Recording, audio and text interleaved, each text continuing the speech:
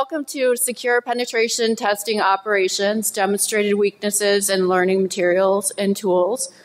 You are in the Mandalay Bay EF room, so if you're not in the correct room, please exit towards the back. The name of your speaker today is Wesley McGrew. Uh, before we begin, a few brief notes. Stop by the business hall located in Bayside AB during the day and, and for the welcome reception from 1730 to 1900 tonight. The Black Hat Arsenal is on the Palm Foyer on level three. And join us for the Pwnie Awards in Mandalay Bay, BCD at 1830. And thank you for putting your phone on vibrate. That makes it easier for the rest of us to ignore it while you wait for it to go to voicemail. And uh, also, there are six microphones, I believe six, uh, scattered around the room. So when we do get to Q and A, if you could please kindly step up to one of the microphones so that we can all hear your question, that would greatly help. And without further ado, Wesley. Thank you so much. So I appreciate y'all coming out for this. Uh, so the the interesting thing about this talk is that it was uh, it's probably the most difficult one I've had to put together, and it if uh, it's if you sort of look into this and you sort of look into the the white paper that's behind this work. Uh, and some of the previous talks that I've given on the subject of penetration testing security, uh, you'll probably understand why. And so, a lot of the people who are here today in attendance are penetration testers or authors of books or training material, trainers. Uh, or you have recently taken a class here at Black Hat or at SANS or something like that, uh, and you're getting started in penetration testing. In any of those cases, you have a stake in this. And so it's very different from these other talks where we're breaking things and we're talking about people who aren't in the room. We're talking about people who uh, the, the faceless developers at some random company, the software you found the vulnerabilities in, the hardware that you found vulnerabilities in. It's a more difficult thing to talk about when it's us and when we're being introspective about this industry. But I think it's something that we have to do to improve things. And so that's why this talk is the third one in a series of talks I've given on secure penetration testing. This one is specifically on the learning material that we use to train penetration testers, uh, the, the, the tools that we use, the reference material we use, and the standards we follow. So for, for myself, uh, Wesley McGrew, uh, I'm co-founder of Horne Cyber. So we founded Horne Cyber as the Halberd Group uh, last year, and we were acquired by Horne LLP, the accounting firm, and now we're a wholly owned subsidiary, and we primarily provide advanced penetration testing services. Uh, we provide some vulnerability analysis, incident response, things like that. But one of our main focuses on is on offensive security and doing that in a way that brings value to clients. And so, uh, in this time uh, doing penetration tests as Horne Cyber, uh, we've noticed a lot of uh, insecure practices being carried out by previous penetration testing teams. Uh, at Horne Cyber, I'm the director of cyber operations. I lead the offensive engagements as well as research and development into tools. And I still teach at Mississippi State University. You might have seen me speak before uh, with that as sort of my banner. Uh, I'm part time there now, so I still teach a class a semester. Still, still a great school to go to. I'm just across the street in Horne. So the situation at a glance for advanced penetration testing and and the state of penetration testing in general uh, is that it's not a very mature field yet. People have been doing this for some time now, a couple decades or so now, but it's still not a mature field. Uh, the main problem that I've identified with this, uh, as far as problems that this can pose for the penetration tester or pose for the clients is that these insecure practices used on these penetration tests put clients and penetration testers alike at risk. And we're going to talk about these things.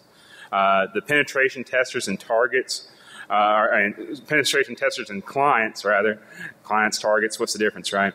Uh, during and between engagements, they're both attractive soft targets for third party attackers. There's a, there's a high motivating factor to attack a company that's undergoing a penetration test or to attack a penetration tester directly. And it's my belief and my findings through this research that the root cause of this problem is a lack of awareness. Uh, we simply don't introspect into ourselves. We don't. We're not introspective about how we do our testing, how we uh, how we carry out our, our, how we carry out our own operations, uh, and the learning materials that we have for training new penetration testers and to serve as a reference for existing penetration testers. They teach insecure practices. And it's done for the sake of convenience for a learning environment because you don't have a realistic target environment. You don't have uh, time necessarily for all the, the intricate details of making sure that your command and control is secure. Uh, and so you cut corners. But unfortunately, that winds up being the model that testers use once they actually go out and perform real engagements. And so all of this has to change. Uh, and and that's that's just the the the the ultimate statement for this talk is that this has to change. Otherwise, there are going to be breaches because of this, because of the penetration testing that's going on. So, the topics we're covering today, I'm going to talk a little bit about the previous and current work in this field that I've done. Uh, I presented a couple times at DEF CON on this topic. Uh, and so some of you may have seen those presentations online or in person. Uh, I'll briefly cover what those are about. I'm going to talk very briefly again about the threats involved, sort of the threat model of the third party attacker. I won't spend a lot of time on that because, again, I've covered that in the previous talks. I'm going to talk about the role of learning in reference material, why the why there, there is um, a problem with uh, the, the, the depth of which learning material goes into this topic and why a lack of addressing these security issues in that learning material can lead to penetration testers doing this insecurely. Uh, and then we're going to talk about the study. And this is a really interesting study. So I took a, a large portion of books and training materials and standards and asked a series of questions about them about the types of uh, security issues they addressed or didn't address, what kind of practices they were teaching. And I'll talk to you about some of those findings. Uh, I'm going to recommend some best practices moving forward. And, uh, and just for fun, because I can't get on stage in Vegas without doing some sort of demo hacking something, uh, even though this study really isn't about that. Uh, just as a demonstration, a proof of concept of the types of third party attacks that can happen I'll show you how to hijack Meterpreter sessions off the wire uh, if you're in a position to do so. And uh, finally, just a sort of call to action as to how we can how we can make this uh, make penetration testing great again, right? Uh, how we can uh, how we can turn this into a more secure practice and a better practice for our clients and ourselves. The two previous talks on this subject, I presented these at DEF CON 21 and 23. Uh, in between there, there was a 22. There was something, some kind of Wi-Fi pineapple thing going on. Uh, so this work, however, this this builds upon them. In those previous works, the first one, Pwn the Pwn plug, was really a forensics talk. It was um, the question was: this, if you have these implantable devices, if you're leaving behind your pen testing Dropbox, your Pwnie Express device, your Pineapple, your whatever, and you have this thing as something that's monitoring things, giving you a pivot point into a client network. Uh, what kind of problems arise from that? How do you, what if a third party attacker were to find that in the same physical location? Uh, or if you're just a straight up bad guy, what happens when uh, the opposing force, the, the target, actually finds that device? Can they analyze that device and extract sensitive information from it about the client or about you? Um, and what are the vulnerabilities in that? And that one I demonstrated a vulnerability that was current to the uh, Pwn plug at the time uh, that would allow from a single network packet uh, uh command injection into the device itself. Uh, with I Hunt penetration testers, I looked at tools, and so I did a survey of Kali tools and their default configurations, and then demonstrated some vulnerabilities in those. And this one, the question is, is why is this a problem? Why, why is it that even when we have tools that can be used securely, why are we not using them securely? And so uh, in this, I have a paper and a talk. So the white paper will be available on our website uh, uh, right now, I believe, and also on the Black Hat uh, briefing site. And so I'd really encourage you to dig into that. I really don't download the slides, download the paper, right? Get something you can sink your teeth into. But the idea here is to recommend some change. So why is it that the compromise of a penetration tester is attractive? If you're a penetration tester sitting in this audience right now, you probably already know why. You carry around some very sensitive information on the devices you carry with you, uh, over the network connections you use during engagements, and in your own uh, network environment. And so for the uh, so for for you, uh, the idea is all of this data that's out there, um, all this data that you have is sensitive, and, it, and compromising you means a compromise of so many of your clients at the same time. And so uh, your information is valuable. You might have a, a stockpile of uh, vulnerability information. So we have, in the course of our engagements, we find vulnerabilities in products, and not all of that's public knowledge. We don't we don't publicly disclose all of those. Well, if you break into our systems, well, then you have all of that. Um, if you're the uh, if you're the target for this, so that's your intellectual property. The tools, tactics, tactics, and procedures you use are a big deal as well. But also, to use you to compromise your clients is a big deal. So. Uh, it provides great operational cover for a third party attacker. If you're that nation state, you're that organized crime threat that wants to hack into one of your clients during your penetration test, all sorts of strange things happen in the pen test. I make myself available 24 7 to our clients uh, via my cell phone so that if something strange happens on their network, if they notice something, they can call me up and determine very quickly whether it's us or not. And sometimes it's not us, it's a third party, it's, a, it's an attacker that's, all, that's also live on the network alongside us. Uh, you don't want a situation where the client assumes that everything's fine even though alarm bells are going off because the pen test is going on because as penetration testers, we're expected to break rules. We're expected to attack things, elevate privileges, exfiltrate data. And so if somebody else is doing that at the same time using our command and control channels, that becomes a serious problem. And we've noticed this. So on a recent engagement, uh, within 15 minutes of starting this engagement of this very large company, uh, uh, you know, hundreds of Class C subnets, first 15 minutes, the first thing I find is a Windows XP machine responding on SNMP with a process lists, right? You can turn this on. It's interesting to see, but uh, Windows XP machine dumping process list to you via SNMP. And that was a finding in and of itself, of course, but one of the processes that I noticed was a Java version of the Meterpreter agent running. And it was running in, in, as a listener. And so you could connect to this thing and with with Meterpreter and control the system. It's already there. The, it was already owned, pre-owned for me, right? And it turned out that that had been in place for at least eight months due to the previous penetration testing firm that tested this client. They had left that there for that long. And so that's the sort of thing that, that's a problem, and that opens up vulnerabilities, and there are threats that will take advantage of those there's no standard for penetration testing. This is the cause and effect here. So the cause here is that there's no standard for it. There are, you know, there's penteststandard.org, there's the PCI recommendations for penetration testing, um, all that. And I get a little bit cut off at the bottom there, but don't worry about it. Uh, the, the, uh, the problem with this is that uh, everything we do is very ad hoc. And I'm not sure that we could ever really standardize on a process for penetration testing. It's meant to be human driven. It's meant to be team based. It's meant to be uh, dependent on your experience, intuition, your pattern recognition. I don't know that it's ever something that you should automate. So don't, right?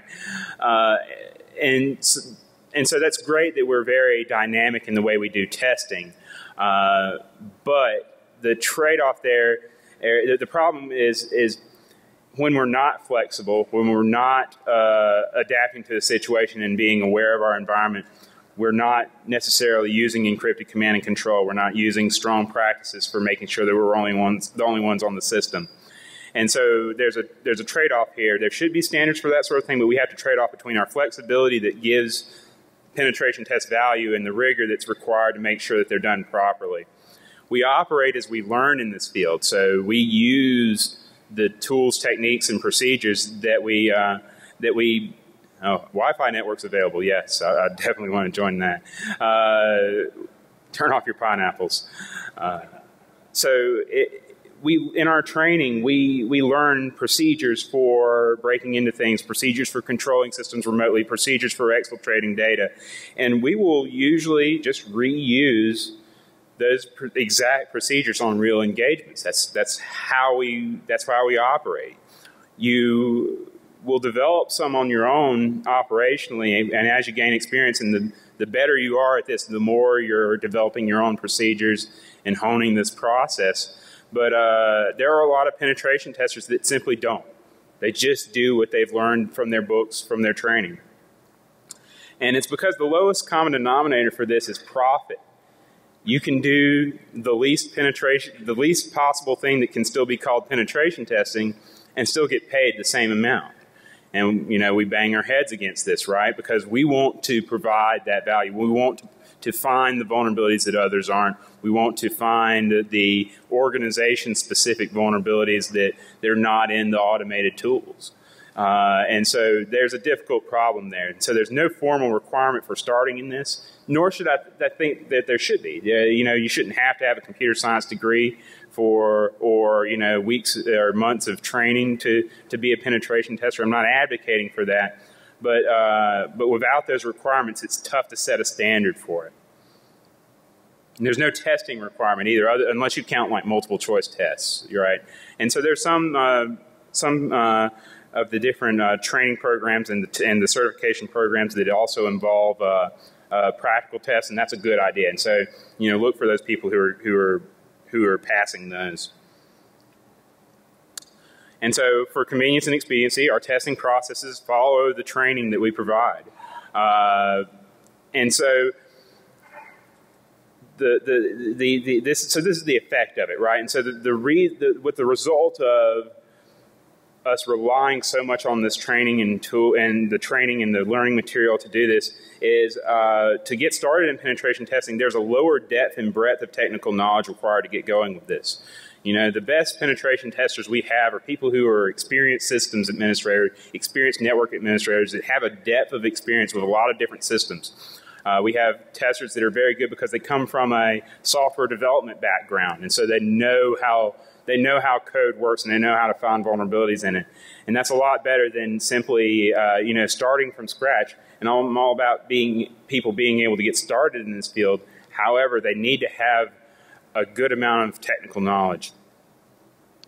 And then there's a lack of situational awareness in your secure operation and communication. So there's no instruction and there's no guidance and there's no practice surrounding being aware of when I launch this exploit, when I set up this command and control channel to the target system, uh, is that over an encrypted channel? Who can see that? Is it simply that I'm one hop away from the server and somebody would have to be on this local subnet to see it? Or is it that I'm launching this attack across the public internet and I don't know, trace route and see how many possible places are there that you could see this? You know, we don't trust, uh, we don't trust the systems we use for social networking and email to run over unencrypted channels. Uh, and so, uh, or to the extent we do, but as little as possible, we fuss about it, right? if a site doesn't support HTTPS, we raise hell about it, right? And uh, but but uh, we don't necessarily hold our own tools and processes to the same standards. So the study for the the study for this uh, talk, the goal of this is to answer the question: How are secure practices and penetration tested in covered or not covered in learning and reference materials? Intuitively, you know, I've read all of these books, right? And so I, I, read these things as I come out. I'm a reader. And so some of you have probably read all of them too, uh, or at least read some of them, and it's how you learn to do what you're doing. And so you probably already know the answer to this question is that they're not, right? Intuitively, I know, knew getting into this that they're, they're not covering this. And, uh, and so it's a, it's a difficult thing to do to point out this as a flaw. Uh, and so I looked at books, training material that's freely available, and uh, standards documents uh, for any kind of reference to these problems. The uh, books were selected from just simply top Amazon results. You can get a pretty ex- exhaustive list of, of learning material that people use to get started in this field by just going to Amazon, searching for penetration testing, sorting by the most popular books, and going through a few pages, removing the uh, removing the uh, the false positives. There's some that just just don't make any sense for the search. There's also some books that will trigger on hits for penetration testing, but when you really dig into them, they're not really penetration testing books. Uh, they may be a book on on how to use a specific product or something like that. Uh, and then with the training, uh, the idea is to look at publicly available material. Only three of these were selected on this, and so this is a notably a very limited part, part of the study. Uh, didn't look at commercial products for this uh, commercial training because of non-disclosure agreements associated with those things, the cost associated with with getting that material, and you know even if I paid for the material, it doesn't mean that I can start disclosing things about it for a study. And then four different standards. Uh, you know, uh, I don't really disclose what all of these are, but things like the PCI and the penteststandard.org for those. The, uh, the key for, for and, and in the selection of this, and you'll notice that, uh, that, that I don't disclose the names of these books, and it's really because it's there. The, the, not not any no book really did very well on this uh, on this study, and this talk is not meant to be a call out to specific authors by name or specific titles of books or training classes or standards by name. Uh, while while it's important that everybody realize that moving forward we need to make more material that, that addresses this better. Uh, this is not meant to be like a call out session or to, to create an amount of drama surrounding that that uh, that overshadows the main point of this. Uh, and that's part of why, when I opened this up, I talked about how difficult this particular study was to do and how I knew creating this to present here that this would be uh, uh, potentially a controversial thing. So for each of those uh, pieces of material, I asked a set of questions, and I've got a slide per each of them. And the first question is, uh, is just, and we have you know, a basic overall part of it in the question itself. And this is host security for the penetration tester. So does the work address precautions for preventing penetration testers' systems from being compromised?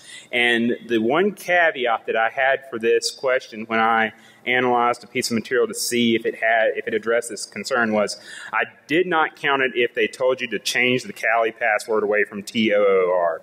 Uh, almost everybody at least gets that, but I just it's just not good enough, right? That's that's that's a good first step. Do that, but uh, but that's not really addressing this. And so, uh, how do we make sure that the system itself doesn't get compromised? And then host security for the client. So we've talked about for the testing systems. What about the client?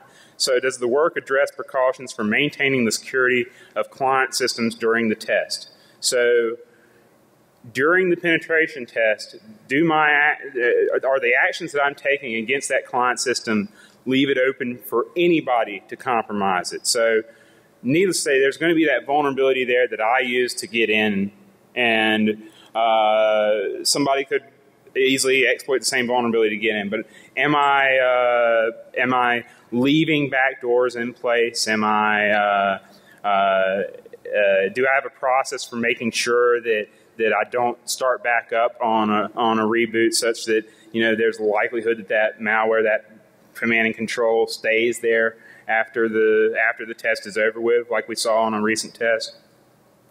So, uh, are we addressing those concerns? Communication security. So, this is uh, sort of when we're talking about scoping with a client, when we're talking about that that thing where the client can call me up at any time to to get a sanity check on was this you? Uh, when we provide our results, when we generate our report, when we write our reports, and we send that to the client, is all of that being done securely? That report is usually pretty explosive when we send that, right? So there's a lot of very interesting information in those reports that a lot of people would want to see. Uh, are we addressing that whenever we uh, whenever we talk to the client? And so, are we encrypting that? Are we using some sort of a one of our own like HTTPS Dropbox type systems? Not literally Dropbox, but the, uh, the like a file sharing service that's encrypted so that they can get at that. Uh, can we even set up PGP keys? That would be nice, right? If we could if we could use uh, email encryption to handle this problem, but often the client isn't well prepared to engage in that. So client data in transit, this is during the test. So when we're, we, we, we proof of concept our, our, uh, our exploits, right? We, we, our, our, our, our findings. We want to determine the impact of those findings. That's as important as pointing out what the problem is. Point out what the problem is, point out how bad it's going to hurt so that somebody can make a decision as to what are we going to patch? What are we going to do first? Well, we're going to fix the things that are easiest to fix that have the highest impact.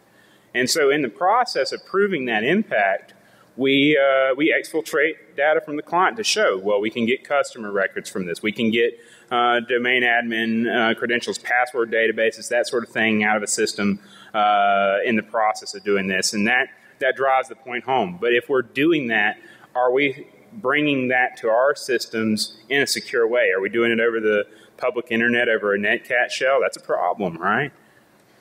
So does this work address transmission of client data? And then client data at rest. So on our systems, uh, how are we protecting it? So the, the data is sitting on, on our local systems, on our network uh, during the test. Uh, is it in a form that anybody can get at? How do we maintain access control over it? This is something that a lot of people don't think about. Your operational security when you're doing your open source intelligence gathering.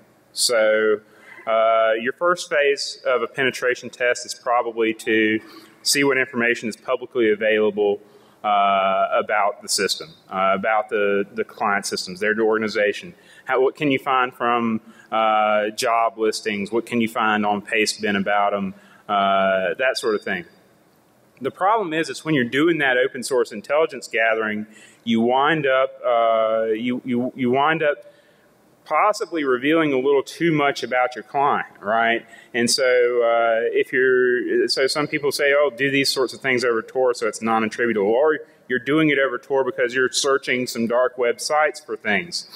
Well, the more specific you are with your search terms, the more you're disclosing who your client is to sites on the public internet or sites on Tor. Uh, and so while you're doing that, you know, you're basically telegraphing to third parties that, hey, XYZ is doing a penetration test for ABC. So that's a, that's a problem. So are you addressing those concerns? Uh, does the study the study ask for each piece of material? Does the work address potential threats? So does the work address even or even acknowledge the uh, the idea that there could be a third party attacker looking at a system uh, that you're currently testing, or looking at your system, or looking at your traffic?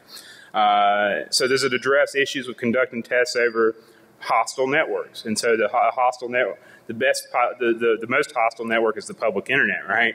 Uh, unencrypted wireless networks. Uh, so does it address your position on the, public internet versus the client's position on the public internet in such a way that you're figuring out, well, possibly not, let's not do this kind of test remotely over the public internet. Let's at least set up a VPN to them. Let's do it on site. Let's do something different rather than uh, exploiting systems over the internet where others can see. And this one's in red because it's actually a reverse type question right here. It's a, if this is answered yes, then it's a bad thing.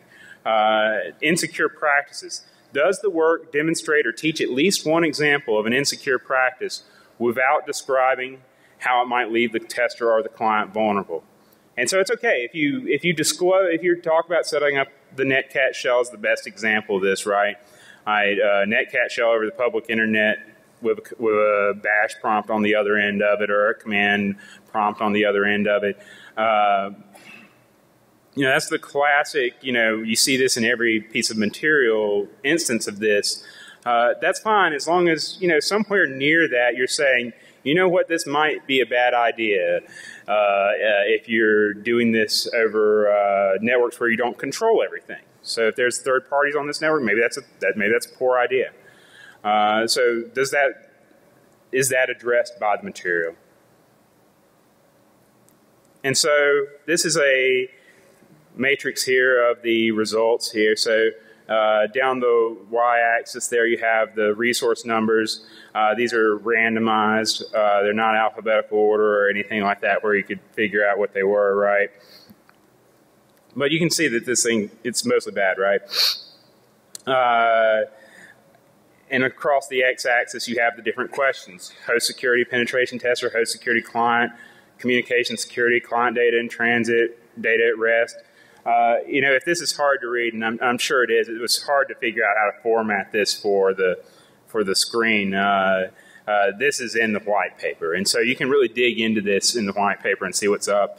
Uh, there's a there's a few notes about this. One, you see this is mostly red. Uh, most most uh, most material doesn't don't address any of these issues. Uh, I would say most of them are red all the way across. You'll notice that for the insecure practices, the colors are inverted for Y and N. Uh, since, yes, I covered insecure practices as a bad thing in this instance. Uh, the two yellow ends on insecure practices were, they, they passed by virtue of not having, uh, of, of not covering practices. Uh, the books were, in those cases, or the material in those cases were uh, sort of procedural in nature, uh, a standard or a book that, that covers things from a, a sort of a management type perspective and not necessarily uh, the nuts and bolts of actually exploiting systems. Uh, and so that's why those are in. Uh, so you'll see that there's, you know, most books did not cover any of this. So out of 24 works, 14 did not address any of the issues. And so the majority of them didn't address any of these questions. Uh, only four pieces of material addressed more than two issues. So every work that actually covered technical practices described actions that were potentially dangerous or insecure. Every one of them was a yes for that with the caveat that, uh, that, that, that one of them warned about doing these things over unencrypted networks. The most common flaw in this case is, as I've been talking about, unencrypted command and control. Uh, netcat, web shells, default Meterpreter agents. Uh, these things that we normally use because we're mimicking our, we're, we're, we're patterning in our attacks after what we see real attackers doing. Uh, real attackers may or may not be doing this securely. They don't care as much as we do, right? And so if we're patterning what we do after what they're doing, then we in turn don't do this securely. And so this is this is the fun part of the talk right here. And without disclosing the actual material itself, although if you're clever with, with searching and, and digging through material, you'll, you'll find out what, which books and which materials these were. Uh, I have a, a few greatest hits here for examples of the most insecure practices presented in the work study. And these are things that just really stood out to me, things that when I was taking my notes for this, I really, you know, stood up and took note of. And for these, uh, I have a different, so I'm giving this talk at DEF CON as well on Saturday. I'll have a different set of these for that in case you're really bored and you want to see this talk again, you can see a different set of these. So this, this one is just a, a, a a very uh, common uh, uh, issue here. This is a variation on the sort of netcat reverse shell, netcat open up a shell type thing. In this case, it's it's a uh, it's a it's a payload. Uh, uh, I'm not sure that I'm pronouncing it correctly. Cymothoa. I'd never used it before personally, but I've seen, but I saw it, you know, covered in several of these pieces of material.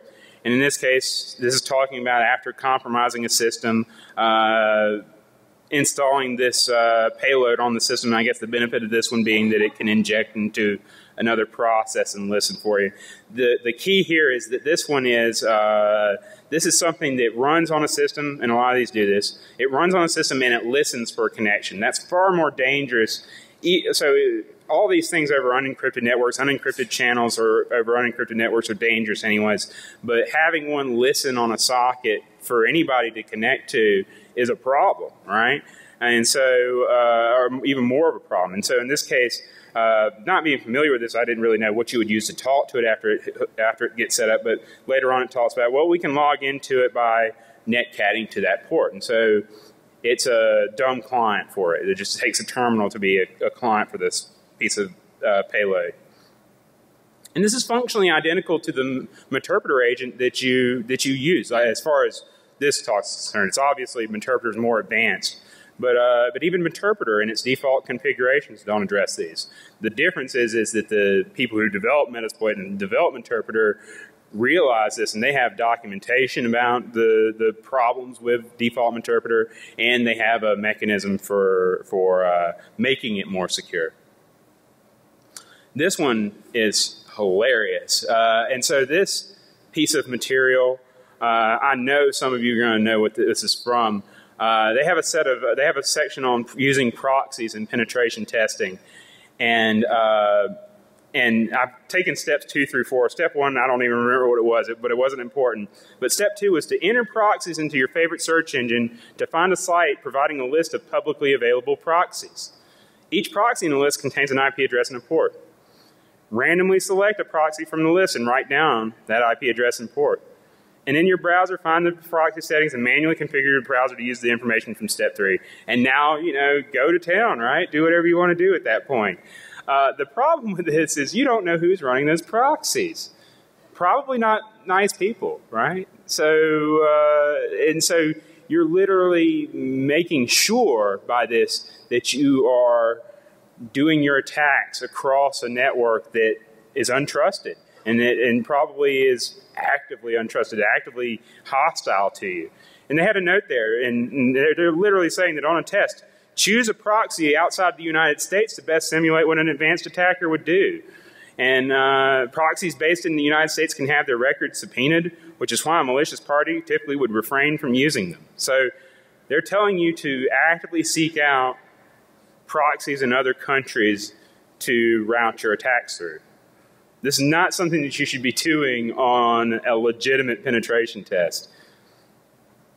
Uh, this this is another proxy one. This one is uh, talk, again talking about uh, uh searching for public proxy lists. Uh, this one actually addresses it right. And administrators of proxies can see all traffic as well as identify both targets and victims that communicate. We highly recommend that you research any proxy prior to using it as some might use information captured without your permission. I don't know how you conduct this research. I don't know how you determine what they're doing with it. I guess if it's a Tor exit node, you can pretty, be pretty sure that they are. Uh, this includes providing forensic evidence to authorities or selling your sensitive information. Why, as a penetration tester, are you concerned about the, uh, the proxy turning over forensic evidence to authorities? This hits on a very core issue that you see in a lot of penetration testing books uh, and, and, other kind of book-like material is that in some cases penetration testing in books is a code word for here's how to hack into things. And so all of them have the disclaimers about you know use this in a well-scoped penetration test but but when you actually read the material and the processes that they're recommending, it becomes clear that these books target people who just want to buy the books to learn how to hack into stuff uh, without permission necessarily. And so, and, and, so things like that, sometimes it bubbles up to the surface in, uh, in these texts. This one is, uh, is to, is basically encouraging you that if you, uh, if you get a, a hash value out of a web app or, or a system and you need to crack that hash, don't bother setting up your own uh, cluster for this. Don't, don't have your own rainbow tables. Use an online one ran by who knows, right? And so you submit your hash to something like this, md5decryptor.co.uk. Maybe the guys uh, running that are really nice. Maybe they're totally uh, mindful about this and they throw these, throw these things away. Uh, maybe they're not logging what IP addresses are asking for them. And overall, you know, uh, it's a little bit of a leap to go from there for a compromise to the client because they don't know where that hash came from necessarily. But why are you giving it to them, right? Why encourage, you know, disseminating that out like that? And then this one, uh, this one uh, uh, was wild, right? And so this is talking about using uh, uh, Zigbee radios to have command and control. And so that's kind of out of band ish, right? You know, uh, most people aren't really looking for those kinds of uh, 802.15.4 networks going on. Uh, and so it's a little bit different from doing your Wi Fi, different from doing your over the public internet stuff. And so from that, uh, you know, the, the, the benefit there is range. But, you know, if you do this, you can encrypt the network, but the text actually recommended that you just start encrypting all. It just said that uh, uh, you may be tempted to encrypt all the traffic, but don't because it makes things slow, right? Uh, and then talks about doing penetration tests from miles away for this. And so think of the attack surface you've opened up there. As far as recommendations for this are concerned, the idea here is uh, to encourage people to use good client communication security? Basically, to answer yes to all these questions, or no to the last one about insecure practices, to make the boxes green on this. So moving forward, the material we use has to do this. It has to address your situational awareness. You have to understand the attacks that you're launching well enough to know what the exposure is. And that will probably require there to be a higher bar of entry to being able to learn how to do penetration testing. If you have to be this aware or this smart about these threats to conduct a secure real penetration test, you know, that raises the bar a little bit on, on entry to this field. And that might just have to be what happens, right? And so the demonstration, this tool is released along with the Black Hat materials that will be on the site uh, later on. Uh, this is Snagterpreter. This is demonstrating hijacking uh, HTTP and HTTPS Meterpreter sessions. So you can play around with this. It's a lot of fun. Uh, the Meterpreter is that's your most commonly used and documented uh, implant. Uh, it's easy to use, popular. Uh, it's often used operationally across untrusted networks but the encryption provided by the HTTPS version of Meterpreter is not meant to provide security for your communication. It's meant to provide in intrusion detection uh, evasion. So it's meant for evasion. The developers of Metasploit, they know this, and there's documentation on how to set these things up in what's called a paranoid mode. Validates those certificates, so, but it's more of a pain to actually set up. And nobody teaches you how to do this other than the official documentation. So what I've got here is my demonstration. We've got three systems rolling here. We've got a penetration tester, and uh, penetration tester is sitting here waiting for incoming connections uh, on its IP address. Oops. It's waiting for an Meterpreter agent to phone in, an HTTPS reverse handler. We have our client over here that's going to run the link to Wesley McGrew's docs on pastebin, not .exe at all. And we have the third party attacker who is sitting with a similar uh, situation, also waiting on an Meterpreter agent to show up. And so when we run this totally innocuous exe, and this is the payload, right? So this payload would execute as, uh, you know, the payload to an exploit or as a phishing attempt or something like that. It shows up on the penetration tester system and the penetration tester has command and control over the target system. The Snagterpreter tool, you provided an interface a target IP address, so the, the, the client's system, the listener, the, uh, the, uh, the penetration tester's system's IP address, and the listener's port, and a port on your local system that you want to forward that shell to.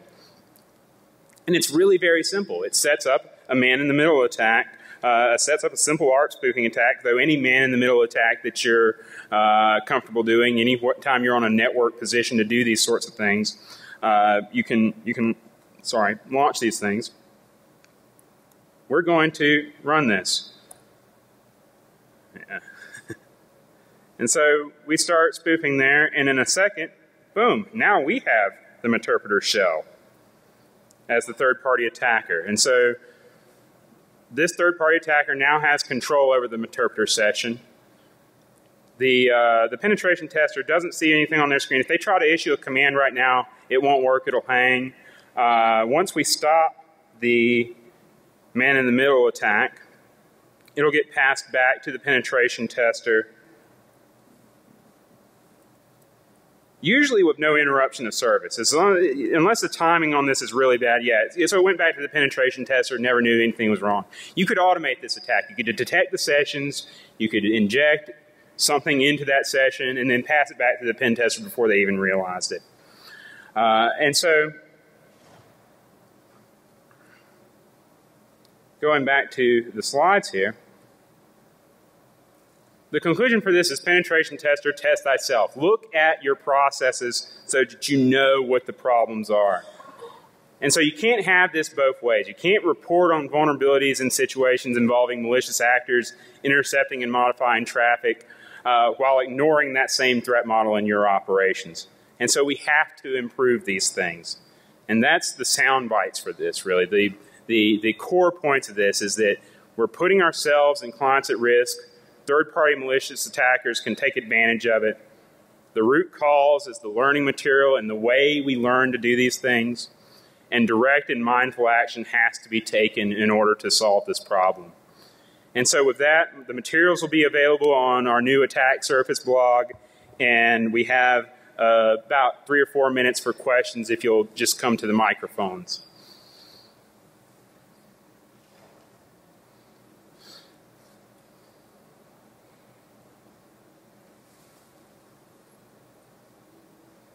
All right, so if we don't have any questions, uh, I'm also willing to, to, go offline with you on it. And so, uh, so thank you for attending this, and I hope that it helps you be a little more introspective about your testing.